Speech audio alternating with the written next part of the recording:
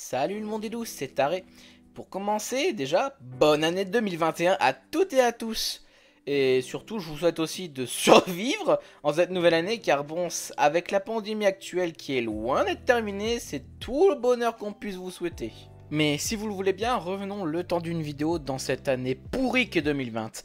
En effet, 2020 a été aussi synonyme d'une année chargée pour le staff de Wakfu en termes de mise à jour, car en plus de devoir travailler à la maison, l'une des plus grosses nouveautés du jeu de cette année fut l'apparition d'un nouveau cap de niveau, le 215, qu'il fallut bien remplir de contenu pour impliquer les joueurs dans cette nouvelle features. Mais pour corser la difficulté du travail à abattre, il y a eu la pression de la part des joueurs, car en effet, en plus de ce nouveau cap de niveau, le staff Wakfu s'est aussi lancé cette année dans une grande série de refontes totales de classes qui a eu pour effet de créer une vague de crainte et d'espoir que leur classe favorite ne soit pas totalement atomisée ou qu'elles aient enfin un nouveau vent de fraîcheur dans, dans leur nouveau gameplay. Aujourd'hui, j'avais donc envie de vous donner mon avis personnel sur les classes qui ont subi une refonte cette année. Qui sait, à l'aube de cette nouvelle année, peut-être seriez-vous intéressé à jouer l'une d'entre elles? Et si nous commencions de manière chronologique des refontes, en commençant par notre première classe qui a subi une refonte cette année, le fameux steamer.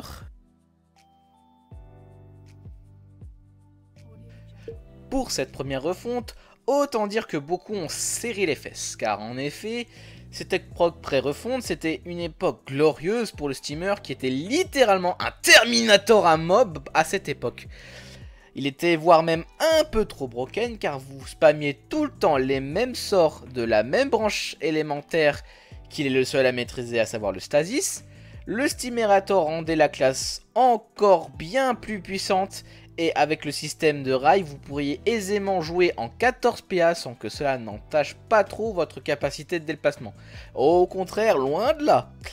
Pour faire court, le steamer était essentiellement un damage dealer qui faisait énormément de dégâts très souvent en distance, avec un effort de réflexion bien trop faible en comparaison du carnage qu'il pouvait semer chez les mobs, en donjon bien évidemment. Et puis à côté, il y avait deux branches élémentaires et un gameplay tank qui n'était jamais mis à profit. Autant dire que ça a servi de carte piège pour les devs pour justifier une petite refonte à l'arrière-goût de nerf. Un nerf Pardon, je voulais dire un charcutage total Et ça pour plusieurs raisons. En premier lieu, la nouvelle mécanique propre du steamer, c'est de commencer le combat avec 0 point de Wakfu. Et ça, ça fait mal. Les seuls moyens sont d'en avoir un en tuant un ennemi si tant est qu'on a un passif qui ne bloque pas cette manière de générer les précieux points. Un en fin de tour ou en début de combat, via de nombreux passifs qui sont accessibles. Le problème étant que vous commencez déjà avec un handicap, quelle que soit votre manière de jouer votre nouveau steamer. Que ce soit en mode mêlée tank, en empêchant de jouer un sort clé de cette nouveauté, ou distance, empêchant de jouer dès les premiers tours des sorts de dégâts lourds pouvant aider l'équipe à se débarrasser assez vite des mobs. Les passifs, parlons-en d'ailleurs. Avec cette refonte, le staff a inauguré le concept de passif à double tranchant.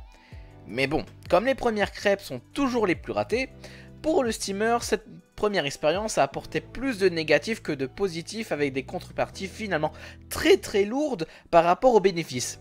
Vous avez par exemple besoin de PW pour activer Cuirassé dès le premier tour euh, pour jouer tank Bien sûr, prenez donc ce passif qui vous donne direct des PW au premier tour, mais en contrepartie de 20% de bonus de PDF. Pour un class tank. Qu'est-ce que le fuck?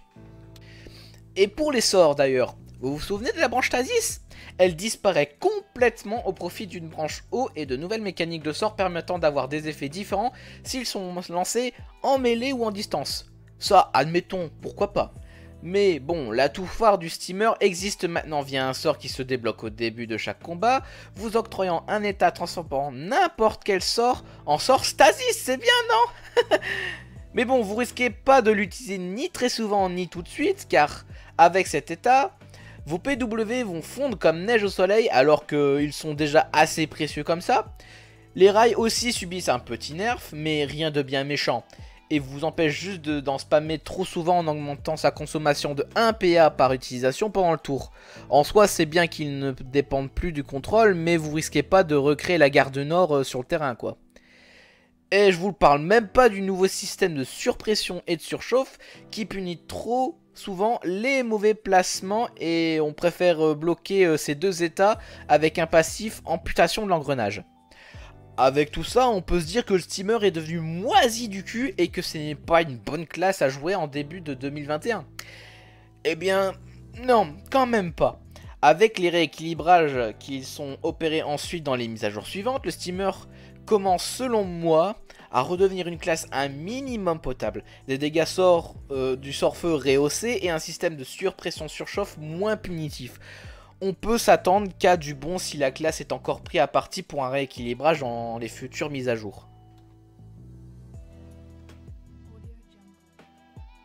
Quand le staff avait annoncé en décembre 2019 que le FK allait faire l'objet d'une refonte intégrale pour lui donner, je cite, une identité propre, Étant dire qu'une grande partie de joueurs les attendait un peu au tournant le staff. Pour ne pas dire tous les joueurs PVM qui se respectent. En même temps, le FK avant la refonte était purement et simplement la classe à jouer dans les équipes PVM. Une véritable clé de voûte d'un down de donjon, il combinait le rôle de tank et le rôle de support à la perfection avec ses systèmes de glyphes, notamment avec la fameuse glyph tonique, son système de bouclier qui boostait l'équipe pour 3 fois rien, et ses nombreux passifs et sorts permettant le placement et la résistance du bousin. Et si par malheur votre FK tombait, vous pouviez avoir 5 persos encore en vie, vous saviez que vous allez tout de suite bien plus en chier pour euh, terminer le donjon. Ce qui avait été prévu pour cette refonte est une remise en valeur des dégâts propres au FK, et non pas via le biais de coéquipiers pour le rendre, je pense, plus intéressant en PvP, et une manière de jouer tank ou support sans pour autant combiner les deux à la perfection. Alors pour le côté dégâts propres au FK, check, via le nouveau système euh, de glyphes qui sont certes un peu coûteux en termes de PW, mais permet de faire des dégâts très puissants et modulables boostés par les sublimations ruines et brutalité. Qui t'énerve pour le côté tank, check aussi, il est capable de déployer de l'armure assez facilement et profite de nouveaux moyens pour bien tanker. Mais le QT support, euh, c'est pas trop ça. Le nouveau système d'armure était malheureusement trop situationnel à la sortie euh, de cette refonte, et leur déclenchement demandait des situations un peu saugrenues. Et c'est sur ce petit point que les joueurs PVM ont décidé de reroll leur FK. Donc en soi, le nouveau FK était plutôt moyen, mais le don de PA et sa grande capacité de support supprimée, cela n'a pas suffi à ce qu'on se décide par le remplacer par une autre classe qui était devenue beaucoup plus compétente en termes de tanking ou de support, notamment le Panda pour son côté tank et son côté placeur, et le Sadida pour son nouvel intérêt via le nouveau système d'armure et ses capacités de soins et de support. Et malgré un ajout de passif rendant les boucliers du FK moins situationnels dans leurs activations lors d'équilibrage suivant euh, cette mise à jour, ça n'a apparemment pas suffi à ce que le Fega retrouve ses lettres de noblesse. Mais c'est une bonne leçon de vie de savoir qu'il est plus difficile de remonter tant le point dont on chute est grand. Et on termine avec la dernière classe qui a subi une refonte cette année 2020, le Zobal. Avant refonte, le Zobal était assez anecdotique, il possédait des systèmes de soins et de dégâts uniques comptant sur l'esquive pour augmenter son potentiel de soins et dégâts mêlés. Il permettait aussi de bons moyens de positionner les entités avec les sorts de positionnement et d'autres combos sympas permettant de baisser les résistances d'un ennemi une fois par tour. Mais bon, cela ne suffisait pas toujours pour rendre la classe indispensable dans les équipes en PVM. Avec les deux refontes un peu bancales qu'a subi les deux premières classes, est-ce qu'on pourrait s'attendre à ce qu'enfin une refonte soit excellente? Eh bien, je vous dirais même que c'est plus qu'on espérait car la classe est devenue un mix polyvalent entre les dégâts, le soin et le support via le nouveau système de max qui applique, en plus d'un effet supplémentaire sur le Zobal, un boost sur les alliés proches tels que le coup critique de la résistance. En plus de cela, le Zobal obtient de gros boosts de dégâts via les passifs en fonction de son taux de tacle ou d'esquive si vous désirez jouer votre Zobal distance ou mêlée. Car oui, il est désormais possible de jouer votre Zobal distance. Personne n'a jamais vraiment essayé, mais en vrai, moi, ça me tenterait de tester un jour. Hein Qui sait Ah, peut-être un sujet de vidéo pour la prochaine fois. Et je ne compte pas le nouveau sort de zone qui applique un tas de buffs, des buffs comme des gains de dommages infligés, des soins et de l'armure, de l'incurable et bien d'autres. Ce nouveau Zobal profitait aussi d'une nouvelle mécanique de collision permettant de profiter des sorts de poussée pour créer des collisions aux effets tout à fait nouveaux et autres que la simple perte de PA, comme des dégâts supplémentaires comme à une certaine bonne vieille époque, du soin, du gain de critique ou même du contrôle de PM.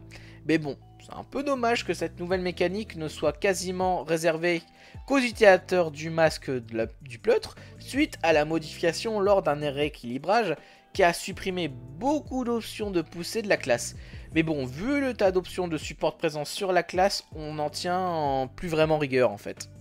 Et bien entendu, il possède toujours le double, qui est euh, à double tranchant, mais qui obtient désormais un nouvel intérêt stratégique autre que faire simplement des dégâts supplémentaires ou d'être une cible facile pour les sorts de zone qui vous fait du coup subir en double sur votre Zobal. Le Zobal trouve enfin un réel intérêt et ça fait du bien. Est-ce que c'est un nouveau must-have pour le PVM je pense qu'il est un peu trop tôt pour le dire, mais en tout cas, il reste une classe à conseiller pour le début de cette année 2021, évidemment. Et voilà, c'est la fin de cette vidéo.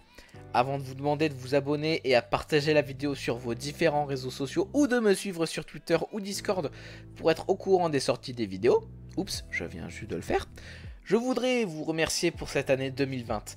Je pensais vraiment pas que vous soyez au rendez-vous pour mon retour à mes fondamentaux sur ma chaîne YouTube. Et ne vous inquiétez pas, les vidéos Wakfu sont pas prêtes d'être terminées. Alors à la prochaine pour de nouvelles vidéos. Tchuss